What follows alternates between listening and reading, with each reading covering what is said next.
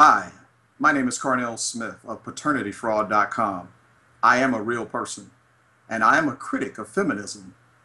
I am an advocate for men and boys, and they are trying to silence me. And I'm not going to stand for it, and neither are those of us who believe in fairness and equality for men and boys.